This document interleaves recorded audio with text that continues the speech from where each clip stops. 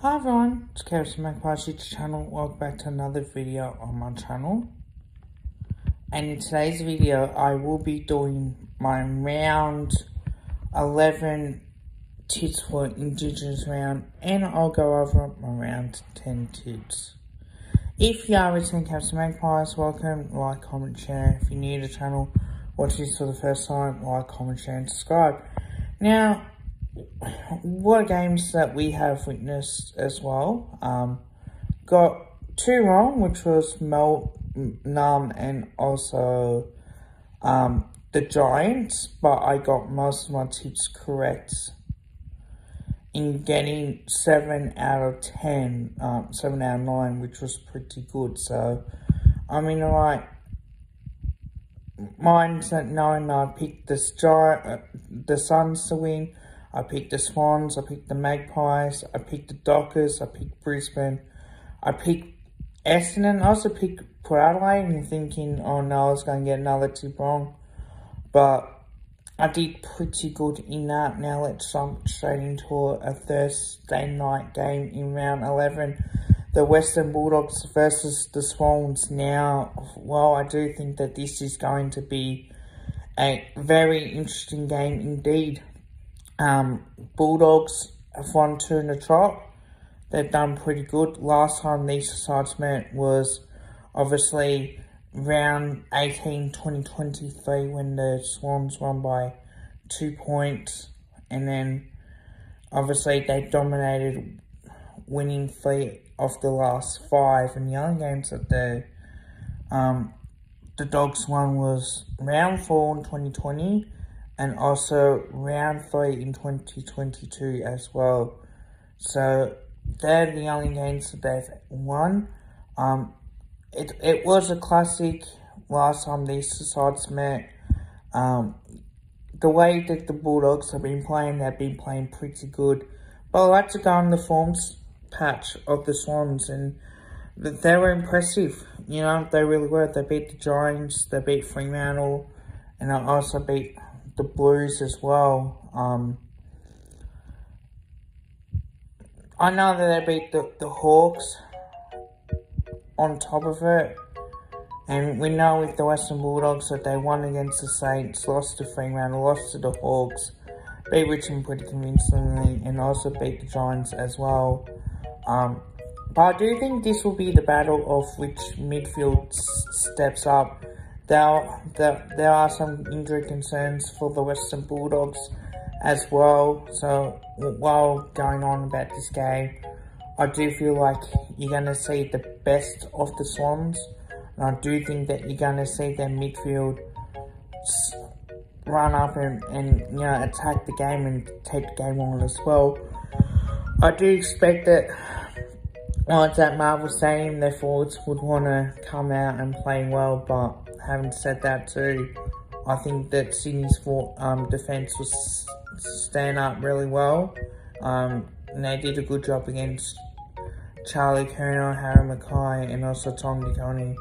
And I think their backline, even though might be undersized in, with Rampy and that, I do expect them to play really well. And I, I think they'll get the job done by 17 points, and I think it's going to be that type of game where we'll see the Bulldogs just try and jump out and, and really play well. Um, play purely based on how we're witnessing this team. Um, I'm really looking forward to what the Bulldogs will bring up as well. Um, Fremantle versus the Magpies now. Tell you what, we've been in really good form as well. Um, we only have that one draw against Essendon on Anzac Day, but we beat the Power by 42 points. We beat the Blues as well. We beat the Eagles, and we also beat the Crows in a classic game. But the Dockers, they lost to the Eagles. They beat the Bulldogs. They beat the Tigers. They lost to the Swans, and they also beat the the um, Saints as well. Having said that too, the problems are that Fremantle will want to try and make it a less attacking game. They want to make a defensive type of style game. Um, I know with our track record that we only we've won three of the last five. The only times they beat us was round 15, 2021 when they beat us by 12 points. And I remember that very well. I was there for that game. And then round 9, 2020, we only lost by 12 points as well. So we've had some few, like, couple goal wins. Um, we did beat them in round 10, 2022 by 36 points when we absolutely smashed them. And then in the semi-finals, we beat them by 20 points. And we also beat them by 46 points round 18, 2023 last time that we met. But I do think that we need to make this as, a, as an attacking game and we need to make sure that we're playing with our intent of really wanting to, to play well. Um, I want to see us perform. I want to see us play with our intensity as well. Um, I do think it'll be the battle which midfield stands up for either team, but with the guys that we do have coming back, and I know that we've got injuries ourselves, um, and I'll probably do a, a, a, preview, a full preview for this game. I, I do think that we'll need to make an attacking game style and, and really wanting to make sure that, that that we get the ball going faster because our brand of football holds up really well. Um, and we, and we have won on the bigger grounds as well. I know that we've lost to um, Optus Stadium, but we have beaten them at, at Optus Stadium as well. Um, so I I expect us to really perform well. Um, you know, I'll definitely get a chance to stream it. I'm going to say Collingwood will get the job done by 15 points. I think it's going to be that type of game where we'll see what these teams will do. So, look, I'm not I'm, I do have to believe and, you know, I'm, I'm confident we'll win. But at the same time, I'm a little bit worried about this game, knowing on, on what Fremantle are capable of as well. Now, North Melbourne versus the Power up at Blundstone Arena. What Port Adelaide's fourth quarter performance as well. Um, I, I think that they would be too good. I think their midfield are, are definitely a lot better at Blundstone Arena, but I do feel like with Port, I, I do feel like with Port, Port in particularly, I think they're, they're young midfielders. You know, you've got Butters that's playing well, Jason Horne-Francis doing a really good job. Um, so, while I think that they're in a much better form, but I really do expect this Port team to really attack and, and perform really well. I'm going to say Port by 50 points. I think they'll just smash them completely. Now, Carlton versus the Gold Coast Suns, when there might be a potential stream for this particular game. Um, look, to be honest, Carlton's under a lot more under the pump than the Gold Coast Suns. Well, the well, Carlton have won two, is to beat the Giants, and also beat the D's as well, but they lost to the Cats by 13 points, lost to us by kicking, got absolutely hammered by the Swans, and four Gold Coast, Yes, they did lose, lose the Swans, and they lost to the Brisbane Lions as well. They did beat the Eagles, they did beat North, and they pretty convincingly um, beat the, the Cats as well. Now, remember last time these two sides met, Carlton won by four points in round 23, 2023 as well. Um, they've had a very good record indeed. Not gonna lie, Carlton have definitely won three of the last five, and the only times that they've lost was round 21, 2021, when they won by 19 points, and then obviously they won by 30 points in round 4, 2022 as well. So, well, I think this is a different Gold Suns. I think their midfield will be um, too good. I think their forward line um, a much better forward line than Carlton at the moment. Um, well, there's a chance to Jacob Weedle won't play, I do feel like we're going to see this particular game in particular cop a huge hit too. So I'm going to say the Gold Coast Suns will be too good. I say they win by 20 points. Mark my words, Gold Coast will beat the Blues. You can absolutely clip this, I don't care. But the Gold Coast Suns will beat the Blues purely based on what Carlton's form isn't great, losing four of the last six games, and that is bad form going in. Can they turn around? They potentially can with maybe Adam Saad a chance to play, but that's not going to solve anything. In, in particular, I think their defence is too easy to, to, to, to handle even when Riedel wasn't there. Also, their forward line is so questionable, you know, you don't know what to get, expect out of these two sides as well. So, potentially might stream the Coast Suns, but I say Coast Suns win by 20 points as well, so it should be an interesting game indeed. Then we have the Cats versus the Giants up at GMHBA Stadium. Now, last time these two sides met, the Giants won by 7 points round 11 2023 as well, and they've caused huge, huge upsets as well. They've won 3 of the last 5, the, the Giants. Um, they beat them in round 1 2020 when they won by 32 points the, um, round 8, 2022. So, no, that, they, they won last time these sides met, um, was round 11, 2023, and also round 1, 2020. So they've won two of the last five,